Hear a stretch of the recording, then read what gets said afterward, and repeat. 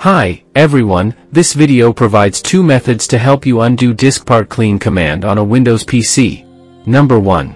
Undo diskpart clean command by recovering partition. Launch Minitool Partition Wizard to enter its main interface. Select Partition Recovery from the top toolbar. Click Next to go on. Now choose a disk to recover and then click Next to continue. Set the scanning range for the selected disk and click Next. Choose a scanning method and click Next. Double-click a partition to view the tree structure of the files slash folders in it.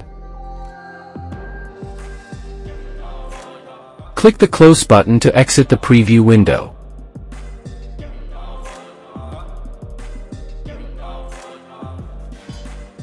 Tick the partitions you need and click Finish.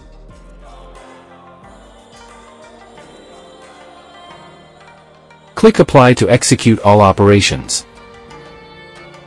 Click Yes to confirm.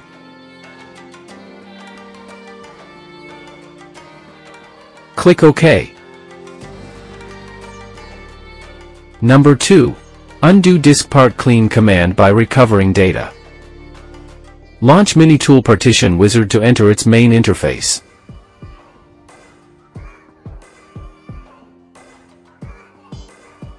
Click Data Recovery from the top toolbar. Select the partition that is cleaned by diskpart and click Scan.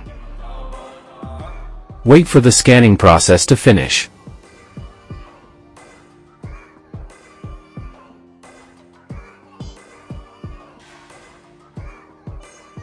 Check the boxes in front of the target files.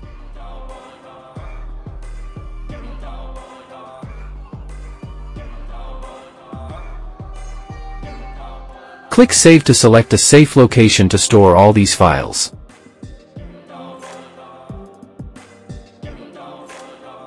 Click OK to confirm.